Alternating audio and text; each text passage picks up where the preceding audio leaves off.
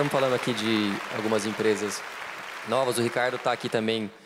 Uma, a gente já vai chegar lá com, um, por, com a outra parte da sua atuação. É, eu queria que vocês se apresentassem um pouquinho para o público. A gente pode ir na ordem, porque a gente está com uma audiência online também bem grande e muita gente não está nas cidades em que vocês atuam. Vocês podiam fazer uma rodada de explicar um pouco quem são vocês e o negócio que vocês atuam, por favor? A gente pode começar por aqui. Eu me chamo Rafael Melo, sou diretor de marketing da Sushi 1. Sushi 1, para quem não conhece, é uma empresa, é um sushi delivery, uma empresa 100% delivery, que faz entrega de sushis e comida japonesa a um preço democrático, ah, onde a peça custa um real. Cada pecinha custa um real. É difícil falar de pecinha porque o mercado de comida japonesa sempre só falou do valor total. Nunca ninguém fez o cálculo que paga por peça de sushi. E nosso sushi, a gente fez esse trabalho de comentar isso com o público, explicar para ele o quanto ele estava pagando por aquela comida. Óbvio que isso depois a gente fala mais sobre o nosso modelo de negócio, mas basicamente o Sushi 1 é, um, é uma marca feita para delivery que tem como objetivo criar uma experiência incrível ao seu consumidor, é, sempre respeitando todas as características que um delivery exige. É, nós estamos desde o dia 17 de novembro do ano passado, então nós vamos completar um ano de existência e, e desde lá a gente está com parceria com a RAP, né? Somos exclusivos na RAP e nós temos uh, um elevado número de pedidos. Eu acho que foi um grande sucesso, está sendo um grande sucesso. Então, é isso. Uh, quem não conhece Sushi 1, eu convido aqui a experimentar. É só baixar o aplicativo da RAP e procurar por Sushi 1, uh, ah, que você vai encontrar delícias a preço que cabe no bolso. É, meu nome é Bruno Nardon, não é Nardoni, fiquem tranquilos, não tem nada a ver com a família. É, sócio fundador da RAP aqui no Brasil. E como ele bem explicou, é a empresa que faz as entregas e as vendas é, do Sushi 1. Um grande parceiro nosso, é, sempre está lá em primeiro lugar, vendendo bastante.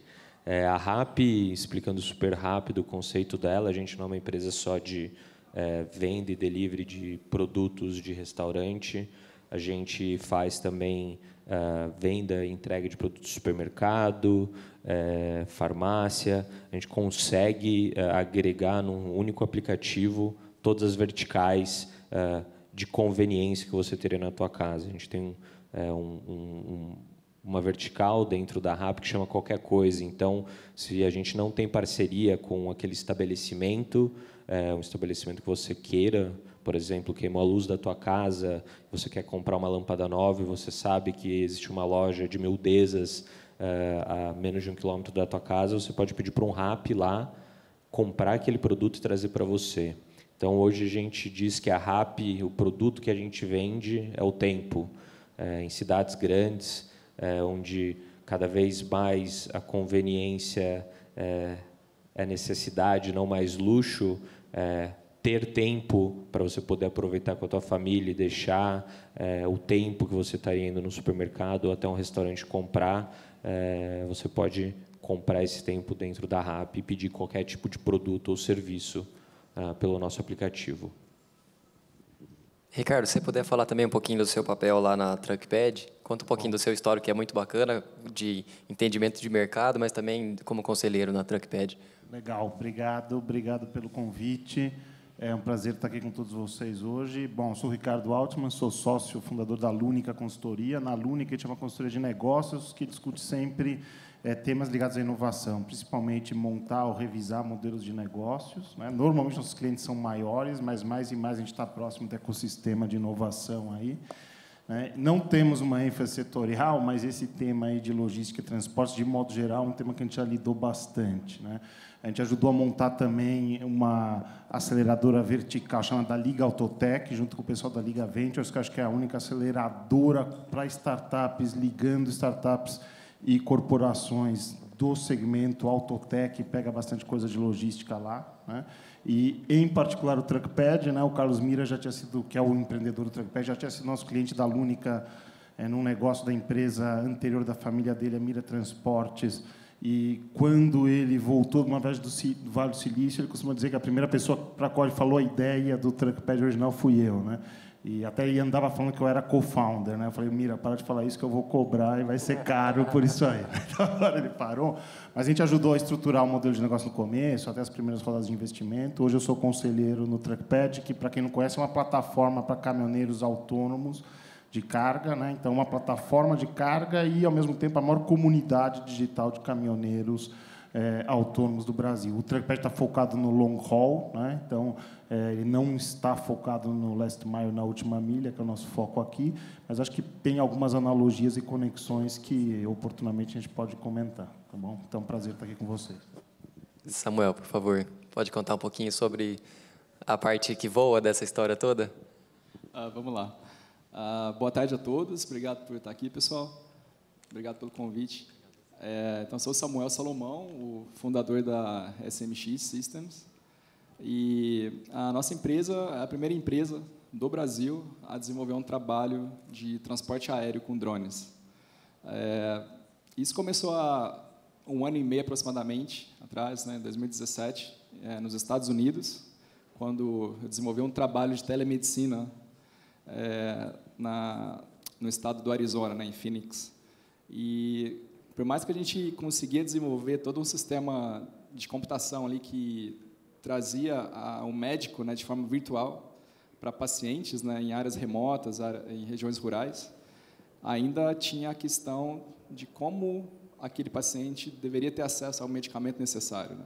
Então, muitas vezes o médico prescrevia e o paciente, mesmo tendo aquela consulta virtual, que era muito eficiente, ele ainda teria que pegar o seu carro, dirigir até a farmácia mais próxima para ter acesso àquele medicamento. Então, foi quando a gente começou a trabalhar com a ideia dos drones levarem medicamentos até esses pacientes. E, é, por ser brasileiro né, e estudando também o mercado, a gente viu que o Brasil tem grande potencial para a tecnologia. É, desembarcamos no Brasil em janeiro de 2018 começamos um trabalho já aqui é, bem, de forma bem influente na, na, questão de divulgação da tecnologia e conscientização das pessoas né, para para esse novo tipo de ação, né, esse novo tipo de entrega que pode acontecer em breve.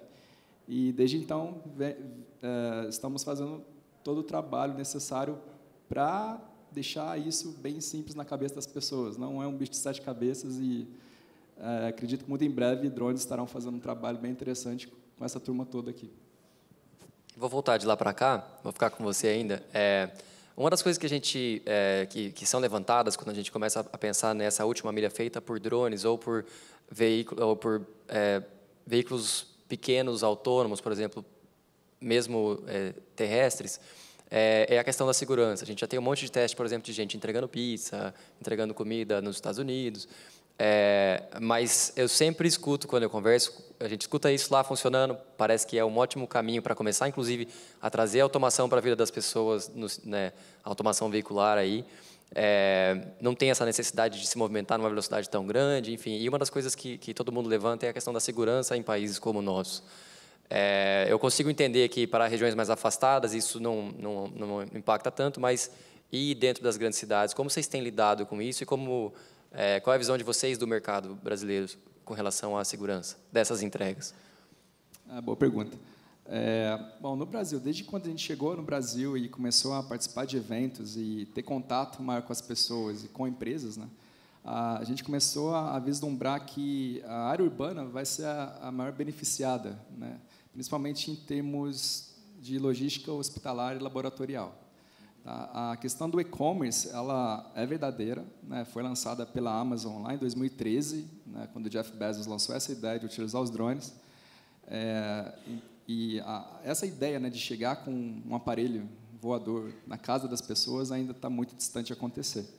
Então, a forma que a gente vislumbra, ah, principalmente no Brasil, né, é você trabalhar como uma companhia aérea. É, você vai ter seus pontos de coleta, seus pontos de entrega, onde você vai interligar essas ilhas né, urbanas, é, agilizando a logística. Então, é um trabalho complementar. Né? A gente vê a RAP fazendo um trabalho fantástico. A gente vê várias outras empresas né, é, utilizando bicicletas, motos, etc. E o drone vai ser mais um passo para melhorar a eficiência da logística. E, no final, que vai agradecer ao cliente para ter, um, ter uma experiência mais interessante, para ter uma experiência de receber seu produto com mais é, rapidez. É, então, a questão da segurança, ela vem em respeito às regras. A gente tem um setor regulado desde maio de 2017 e a aeronáutica e a ANAC faz um trabalho fantástico também em conjunto com outros órgãos internacionais, como a ISAL, a FAA nos Estados Unidos. Então, a questão de cumprimento de regras, da mesma forma que cumprimos regras no trânsito né, para evitar acidentes, isso deve ser também realizado por empresas que vão operar drones. Isso seja em qualquer lugar do mundo, não é só o Brasil. Então, a gente tem que, sim, é, levar isso em consideração e realizar toda operação é, com segurança em primeiro lugar. Então. Bacana. Ricardo, a gente, é, eu vim de um evento de startups bem grande também. É, era o maior evento de startups da Ásia, em Hong Kong, e tinha pitches de startups, como a gente está vendo aqui, e o vencedor foi justamente é, uma startup que estava se propondo a consolidar cargas, a integrar um pouco, porque é, tinha, um modelo de negócio que lá também a gente está falando de um espaço, né, a China principalmente, super continental, mas tem todas as outras áreas que também têm as suas particularidades. É, e eles viram nessa startup e no pitch, na forma de de, de trabalhar é, um mercado potencial muito grande que eles estavam atendendo muito bem. Como que vocês enxergam essa, esse mercado no Brasil? A gente tem é, quanto a gente ainda pode avançar nessa eficiência ao integrar os, os autônomos aos fretes, aos embarcadores? É, sem dúvida. Acho assim, todo o tema da logística e do transporte é um tema que, para o Brasil, acho que é crítico e essencial. Né? Se faltava algum tipo de visibilidade, a greve dos caminhoneiros esse ano trouxe né, para nós. É, independente de qualquer coisa e dos problemas de como foi resolvido, o tema é o impacto do custo da logística e do transporte em toda a nossa competitividade, seja para o consumo interno, seja para um potencial de exportação, é brutal. Né?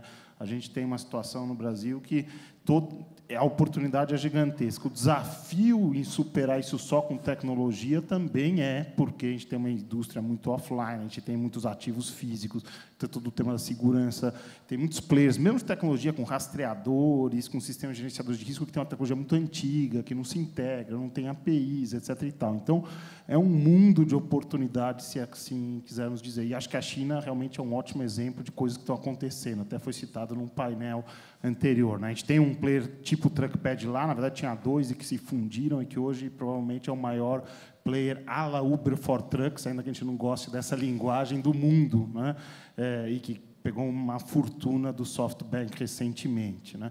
No Brasil, a gente vê que algumas coisas estão acontecendo, né? onde o trackpad está, ainda que talvez mais devagar do que a gente gostaria, né? mas a gente espera que o próprio trackpad vá anunciar uma rodada de investimento. É, a gente vai ter uma rodada de investimento agora, que está se vendo quanto que vai ser anunciado, tal, porque o trackpad nunca anunciou direito as rodadas de investimento, é um certo problema do nosso ecossistema também, mas que para o ano que vem a gente tem uma rodada de aporte de capital é, bem significativa.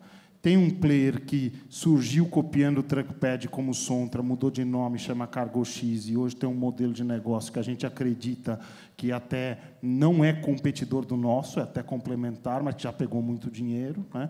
E, nesse nível aqui do Last Mile, acho que o Bruno pode falar, a RAP já é considerado um unicórnio, né? aparentemente, né? por mais que tenha surgido, acho que na Colômbia é hoje o Brasil talvez o maior mercado deles.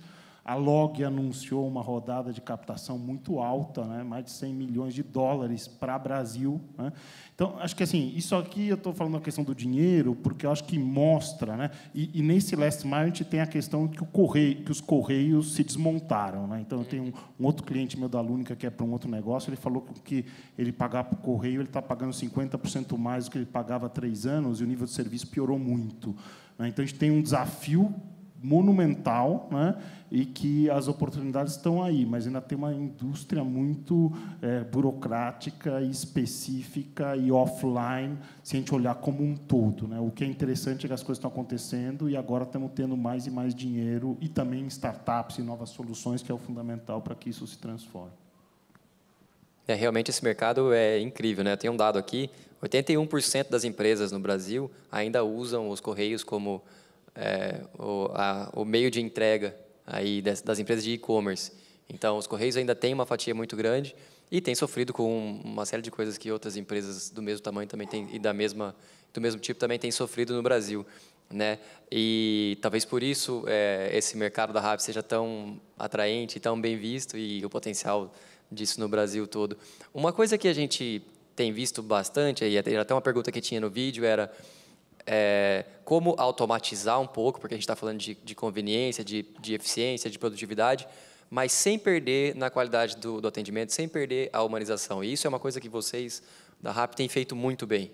É, a RAP é reconhecida pela humanização nesse atendimento. Como vocês conseguiram conciliar essas duas coisas? É, muito boa pergunta. A gente hoje trabalha é, do princípio que os nossos entregadores, na verdade, são assistentes pessoais.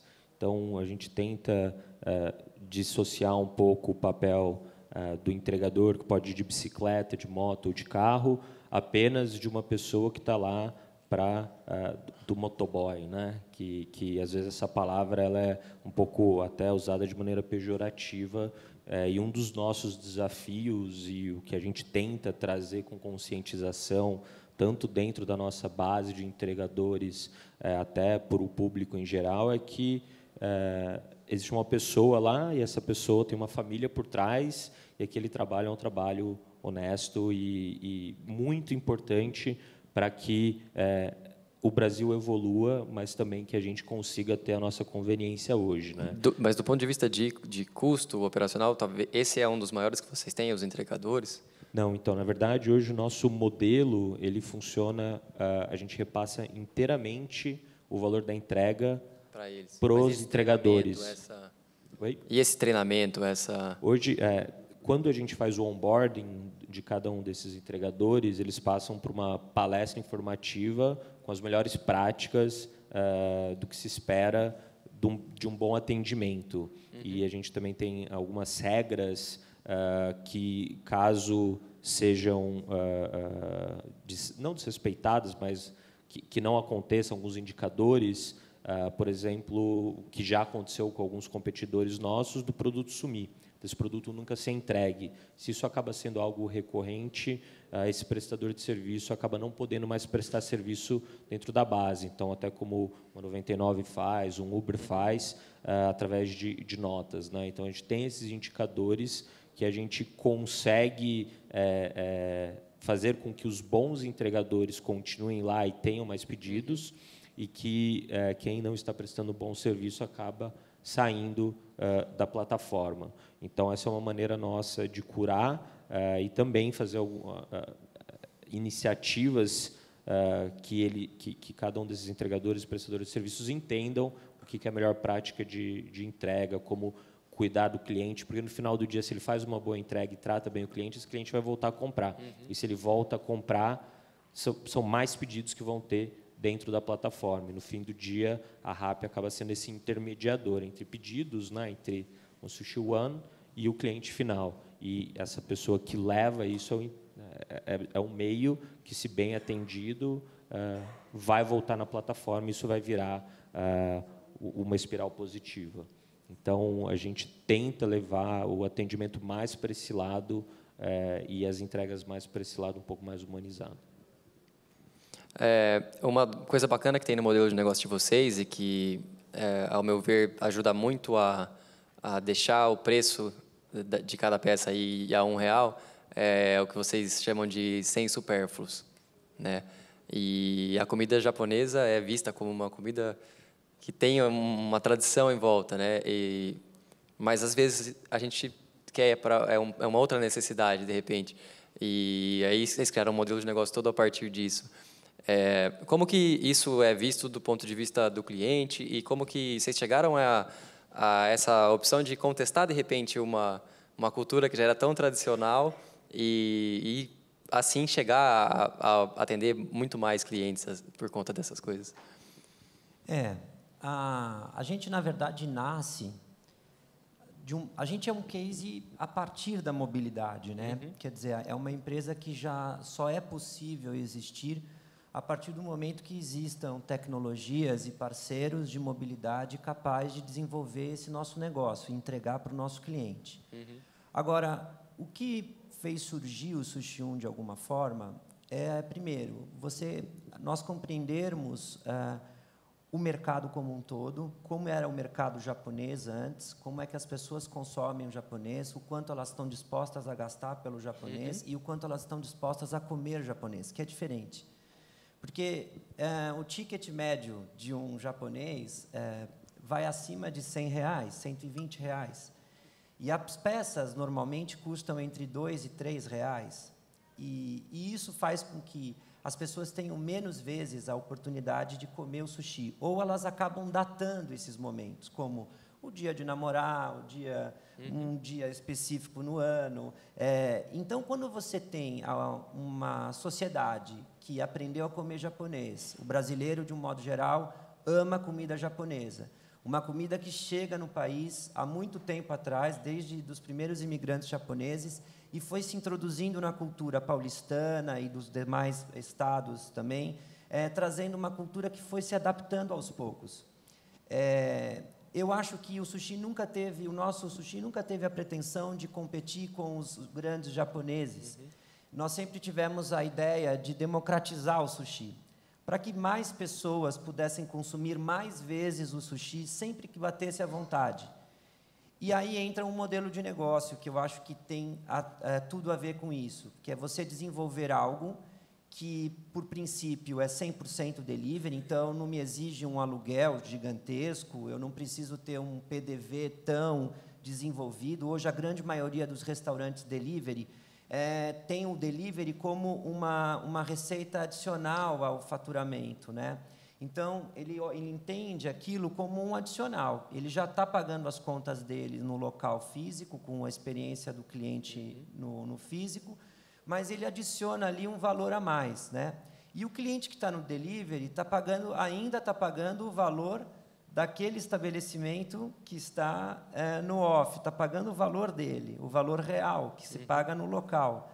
Então, paga aluguel, você está pagando garçom, você está pagando design, você está pagando uma série de coisas. Quando você pensa num modelo de negócio que seja extremamente midiático, e aí está o nosso ponto, porque todo mundo queria comer japonês, todo mundo gosta de japonês, ou a grande maioria das pessoas querem comer mais vezes japonês e não come porque não pode pagar. A gente viu isso aqui ontem à noite, quando a gente teve a gente umas, uns deliveries aqui de né? Sushi 1, foi é, muito concorrido. E aí, é, isso cria uma demanda que as pessoas acabam querendo falar disso espontaneamente. Mídia espontânea, é, o tempo todo redes sociais, a gente tem não sei quantos posts por dia para filmar nossa embalagem.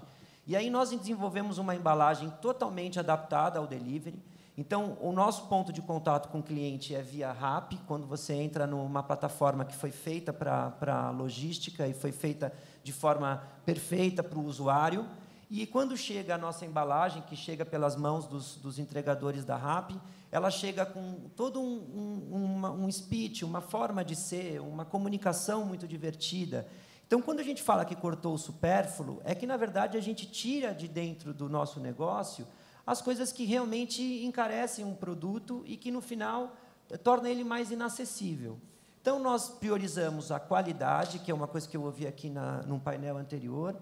é, e a praticidade. Então, você tem tudo numa caixinha, não faz lixo, você cria tudo, come em qualquer lugar, come no escritório, come em casa, come com o pai, com o irmão, com o tio, com quem você quiser. É um sushi democrático. Agora, se você estiver querendo uma experiência de japonês, eu nem sei se você vai fazer isso via delivery, uhum. porque delivery a comida vai chegar um pouquinho diferente do que é comer no local. Então, nossa preocupação é oferecer um produto de extrema, de matéria-prima de qualidade e com o volume que nós temos de venda, esse peixe é de, extremamente fresco, porque ele roda muito. Então, na verdade, é um, a, a, gente se apoiou em cima de uma tecnologia, de, uma, de, um, de um negócio que ocorre hoje no Brasil e no mundo, que é a mobilidade, a capacidade da gente entregar mais rápido. E aí se estrutura tudo isso. Eu, eu tenho certeza que outros negócios, como o Sushi 1, vão surgir a partir de tecnologias que dão essa possibilidade. E, e, aí você vai ter um outro cenário também de consumo, que é o que está acontecendo hoje. Eu vejo a mudança das pessoas no consumo delas porque elas vão vendo que vale a pena você pedir em casa do que você gastar, tirar seu carro, colocar sua família, pagar estacionamento, ir até um restaurante, pegar uma fila, e aí ou você vai até o supermercado, compra, chega em casa, lava comida, a criança está falando, você tem que falar, tem WhatsApp, tem rede social, tem todo mundo. Quer dizer, o tempo das pessoas hoje está tão é, cheio de coisas para fazer que quando elas têm na frente delas uma opção, que é comer algo gostoso, honesto, por um preço acessível, eu prefiro fazer isso. E aí essas empresas têm o apoio da RAP, por exemplo, que nos dá, que viabiliza isso, né?